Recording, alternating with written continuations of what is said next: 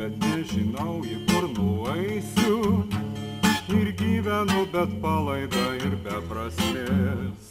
Ragaudamas gyvenimą lyg vaisių. Ir vėl įneždamas lyg naštą ant peties. Aš klausiau kunigų ir filosofų, atsakė išdėstė viską išsamei. Bet man širdis ir šiandien lygiai sopa, kodėl pasaulis ir žmogus ir visa tai. Ir taip einu tolin šio klausimo keliu, o nežinios dangum pavargusiu žingsniu. Ir jei randu užsimiršimo smuklę pakelį, tai linksmas per dienas naktis potauju.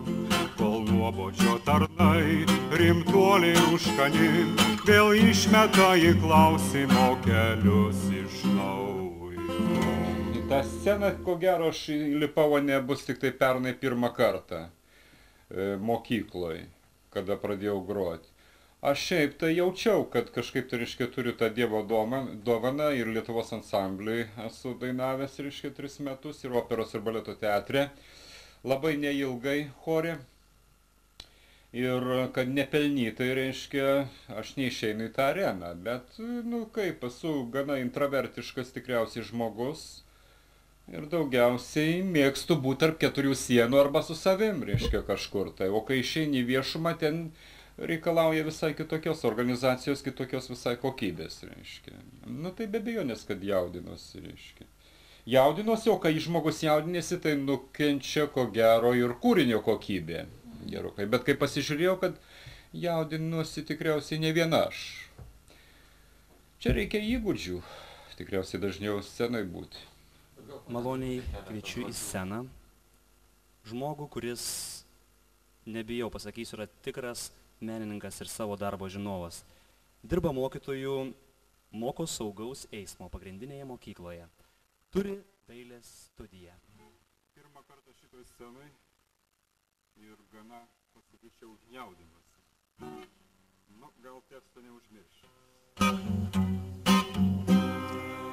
O bulvių valgytojai valgo savo bulves, atmieždami vis jas vynų grobiu tiesiu žodžiu. Ir nuolat vulgarėjančiais kampuotais mostais rūpi būtis, jautri širdis ir bulves prakaite išvirtos. Lyg akmenim šlaitais įkaltais, jie gražų savo tikromu, išlaukta atvanga ir vyno gurkšnių. Kaip aš save vadinu, esu egzistencialistas, reiškia, mane viskas, reiškia, nu, jaudina viskas, kas, kaip čia pasakyti, kaip, kas esti, kas būna. E, Reiškia, daiktai ar žmonės, reiškia, ar šiaip reiškiniai kokie, reiškia, norisi kastis giliai į jų pačią esmę, reiškia.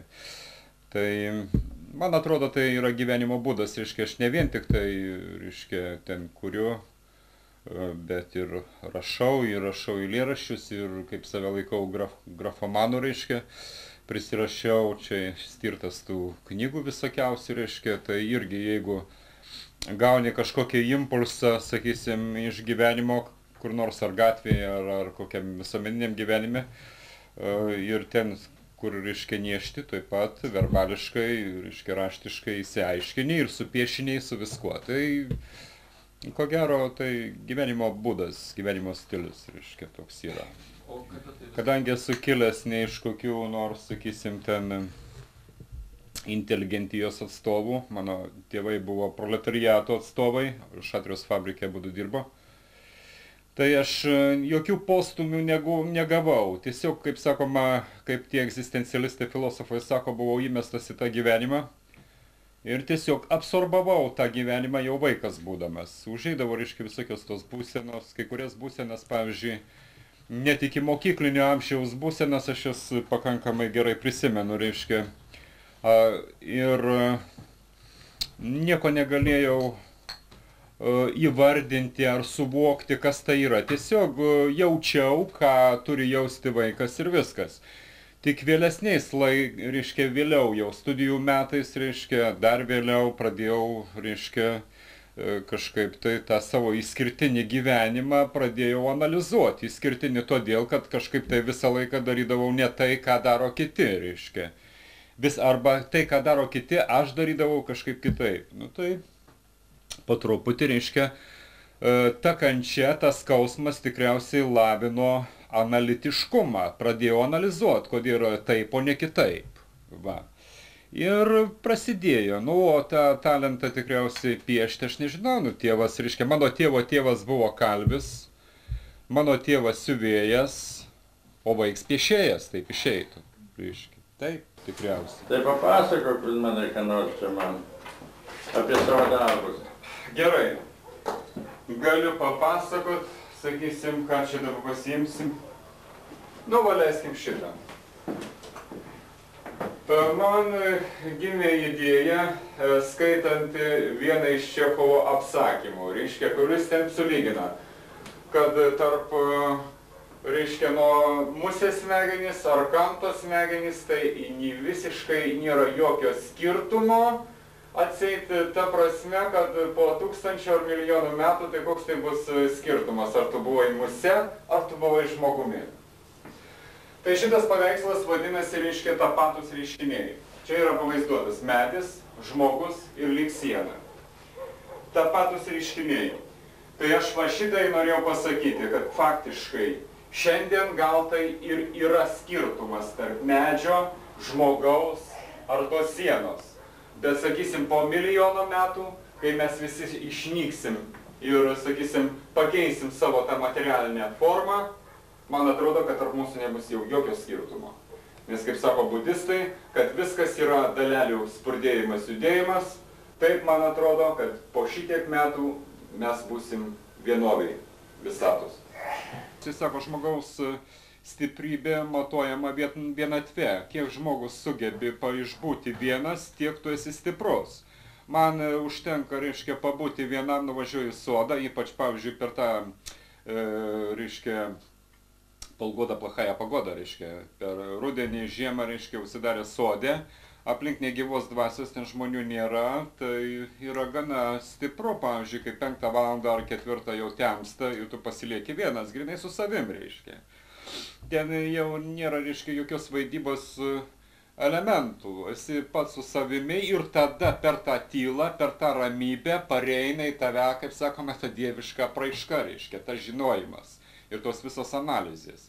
Iš kūrybos, iš tai yra iš, iš tylos, iš tos ramybės ir gimsta, kas gimsta. Va, taip ir poezija, ta, ir, ir ta grafomanija, va, kaip vadinu, ir taip toliau.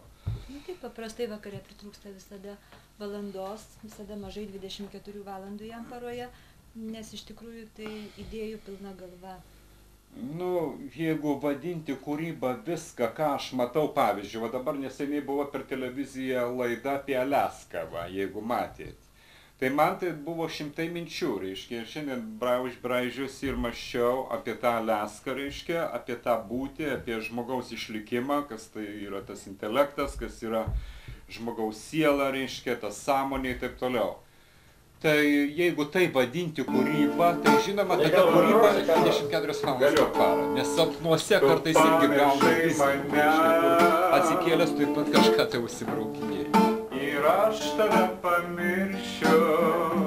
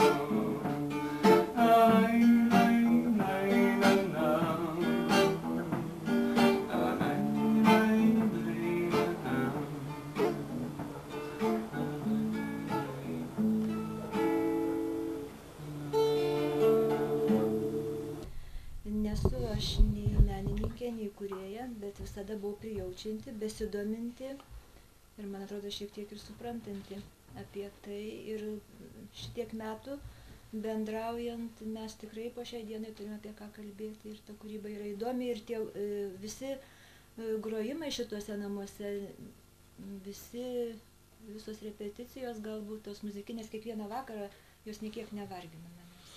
O kaip Mhm. sakoma, menininkas būtyje, tai ir vinis neįkalta sienoje, kur reikia ir taip toliau. Šiaip Kaip, tai jam e, tiktų Vidmantui tas posakis, tiktų, kad Vidmantas gyvena tikro menininko gyvenimą, e, bet e, tai nėra žmogus, kuris nemoka įkalti vinies. Tai nėra žmogus, kuris nemoka padaryti bet kokio ūkinio darbo, tik tiek, kad aš žinau, jog tai be galo žmogų vargina. Kad labiausiai atsigauna būdamas vienas tarp keturių sienų, rašydamas, pieždamas ir dainuodamas, bet kas priklauso, tai, ką jis mano reikia skirti atiduoti namams visada. Paprastai Norėčiau papildyti, jeigu galima. Mhm. Reiškia, mane vargina ne visi dalykai. Mane vargina tikriausiai kaip ir kiekvieną vyrą plovimas, skalbimas, tenai, sakysim, indų plovimas ir taip toliau. Bet tokie grubus, pavyzdžiui, fiziniai darbai, kaip sodė, reiškia, sakysim, ten su žemė darbai, su, su šiltnamiu, leiskim, ten genėjimas šakų, reiškia, su malkom ir taip toliau, man tie dalykai patinka, nes kadangi pagrindė gyvenu tą intelektualinį gyvenimą, nesvarbu, kad aš, pavyzdžiui, su sociumu turiu labai nedaug sąlyčių. Bet aš nemoku kitaip. Aš, pavyzdžiui, vat iki jums ateinant, aš jau čia daug, reiškia, domėjausi dalės istoriją ir ta religijotyra, reiškia, ir filosofija, va dabar skaitau, reiškia, taip toliau. Ir pas mane galva įsipučia. Kai galva įsipučia, reikia peršokti kitą, reiškia, kraštutinumą į fizinį, reiškia, į tą fizinę pusę. Nu ir bedirbanti nus, nusima įtampą, nusižemina. Va. Ir tada vėl gra- gali grįžti prie intelektualinio darbo. Visa šita žiema reiškia, Vidmantui reikia būti vienam iš tikrųjų ir tas, kas yra šalia, kitas žmogus turi tai suprasti. E, Visą žiemą Vidmantas praleido sode. Atsikeldavo rytą ir išeidavo į savo darbą, į sodą, į savo pirkę, prisikurendavo ir tenai rašydavo, pieždavo ir skaitydavo ir taip toliau grįžtų aš iš darbo, Vidmantas grįžta iš ten. Sudirba savo kūrybinę dieną. Tai Per visus šalčius, taip toliau. Nu ką, moterys, moterys tikriausiai.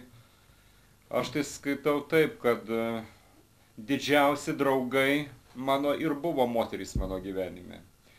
E, Nes vyrai, kiek aš turėjau e, draugų, kurie, kuriuos laikiau tikrais draugais, jie mane išdavė visi ir, ir išdavė ir bjauriai.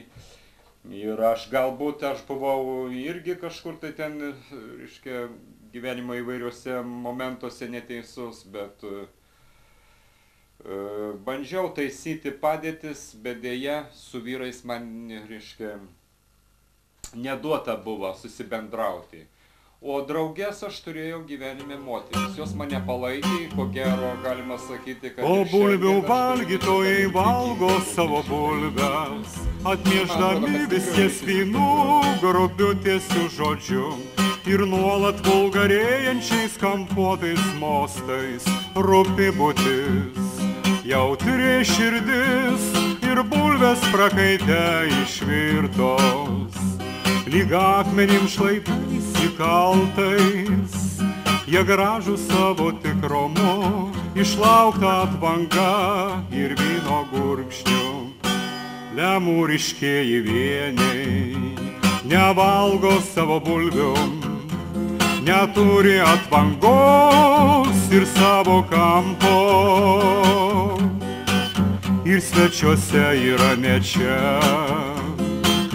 ir namuose nėra jie čia, o kur yra, jie nieks nežino, juk tai keliaujantieji piligrimai. Nu kaip aš galėčiau pasakyti, tikriausiai šiandien jau kai šešis metus dirbau pedagoginį darbą, aš sakau dirbau, kadangi dabar aš kaip, nu, turiu ten tas nedidelės sąsajas su ta pedagogika, bet kai dėščiau etiką ir čia, reiškia, dabar pagrindiniai mokykloje ir pašaltonio, tai kas man nepatinka, leiskim, Kadangi dirbant pedagoginį darbą, sąmonės turiniu, reiškia, tampa visiškai nereikšmingi dalykai. Įsiveli visokius stresus, įvairiausius santykius, į egoistinį karą, į ambicijas ir taip toliau, į visą tą pasovo, pasamoninį tą lobą, galima sakyti. Ir tas sąmonės turinys tampa tuo, ta, tas lobas, reiškia, sakysim, ten, ta, tas sandėlis, reiškia. O norint prieiti prie kūrybinio darbo, reiškia, reikalinga švari sąmonė. Tai reikia ramybės, tylos, nes e, negimsta kitaip e, dalykai. Ir aš jaučiu, kad, pavyzdžiui, dirbdamas aš netenku kūrybos, reiškia, aš pradedu šiauštis prie savo prigimtį, reiškia. Pats einu prieš save. Ir man teko kalbėti ir Vilniui, su, tai yra, atsiprašau, su Kaunė, su tais menininkais, tai, kurie dirbo pedagoginį darbą. Jie visi sako, kad kol dirbo pedagoginį darbą, jie negalėjo dirbti kūrybinį darbą.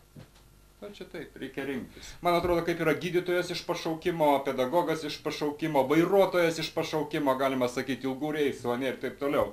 Taip ir pedagoginis darbas. Aš, pavyzdžiui, pastebėjau, pastebėjau, kad daug žmonių dirba šiaip savo, be jokio pašaukimo. Tiesiog, kad reikia dirbti, reikia pinigų ir taip toliau.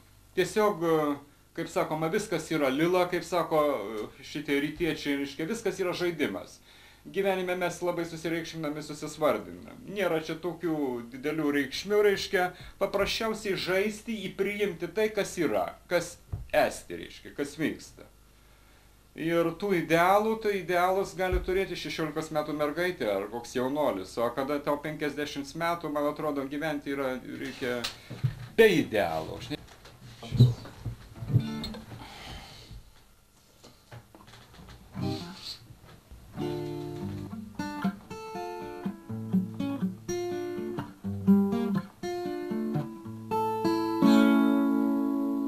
Kas vakarą girdžiu. Aplinkui namą kažkas ten vaikšto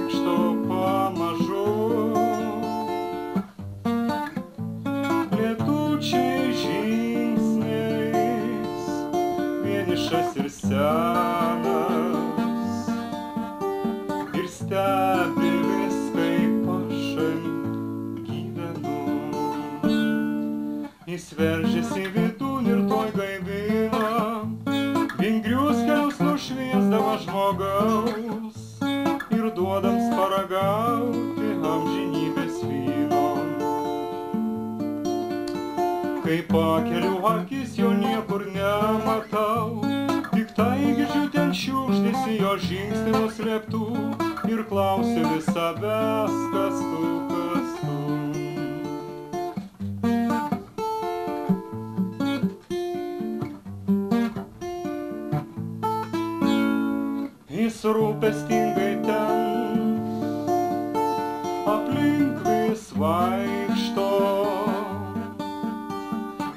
Kai aš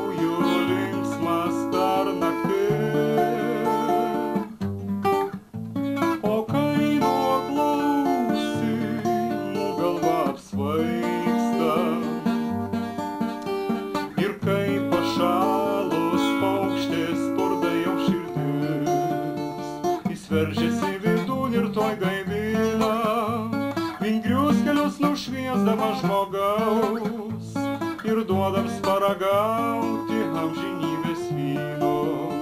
Kai pakeliu akis jo niekur nematau, tik tai girdžiu ten šiukšdėsi jo žingsnį nuslėptų ir klausiu vis savęs, kas tu, kas tu.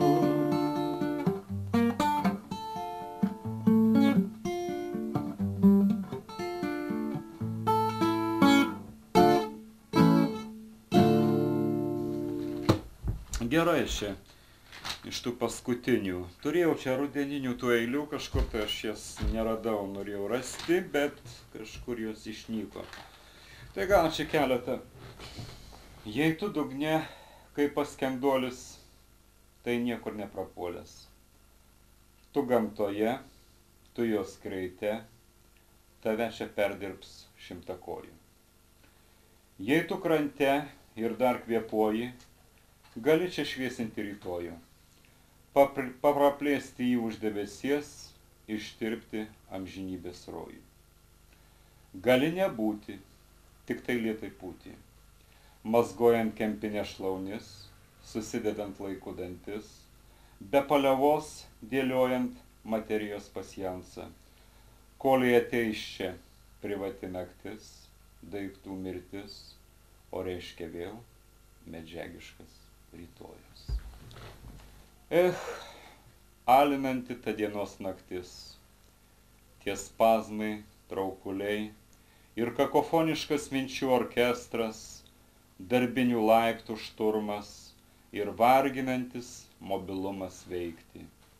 Taip išstekena srovę, kad negaliu uždegti net silpnos lemputės šakrom pasišviesti. Taip nedėra anei viena lastelė gyvenimo šiui šventėjai, tai kaipgi pasilenkti savam šulinyje, kad pamatyti dangų. Vidmantai pačiam, kokia forma priimtiniausia rašyti eilėraščius? Klasikinė eilėdara pats, e, kiek teko matyti, nelabai naudoji. Ne. Tiesiog spontaniškai.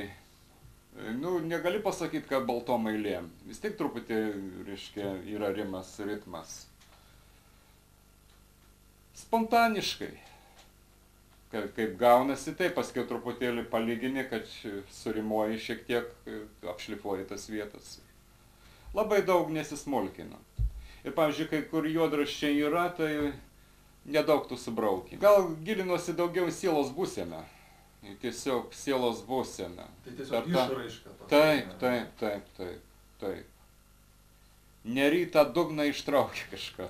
Man yra sudėtingiausia, e, dabar sakau, reikėtų kažką sugalvoti, reiškia, ką parašyti man ant antkapio, žinai. E, Aha, taip. Reiškia, man sunkiausia buvo e, bendrauti su žmonėm tikriausiai. Taip, akis į akį.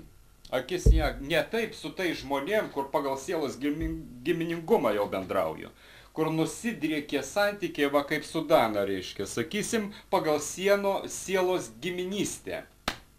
Tada viskas sukimba, reiškia, rankos, į kojas, kaip sakoma, ir taip toliau. į, į tas pats yra su vyriška giminė. Bet šiaip, pavyzdžiui, tas socialinis bendravimas, toks statusinis bendravimas, sakysim, pagal pareigybės, pagal sociumo hierarchiją, reiškia, tai mane labai vargina.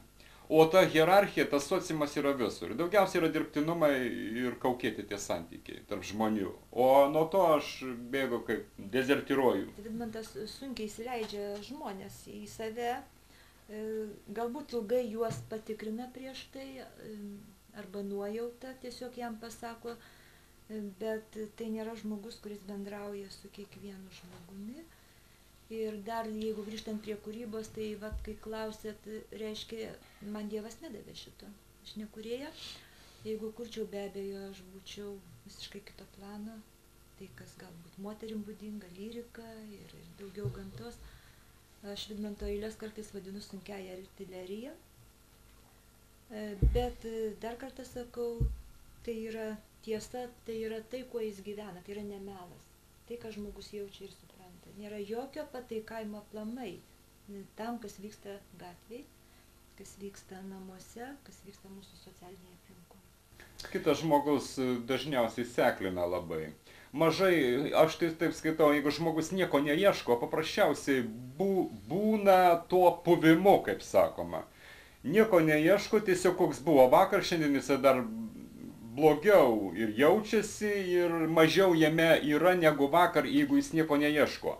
O ieškančių žmonių, o ko galima ieškoti, sako, tik tai Dievo, ar ne? Bet Dievo tai yra, reiškia, tokiu bendru pavydalu. Tai jeigu jisai neieško, tai matosi trečiaja akimi. Iš karto nereikia nei verbalizuoti nieko, matai iš jo judesių, iš jo elgsenos, iš jo manierų, iš jo, iš jo atsikrenkštimo ir taip toliau visko.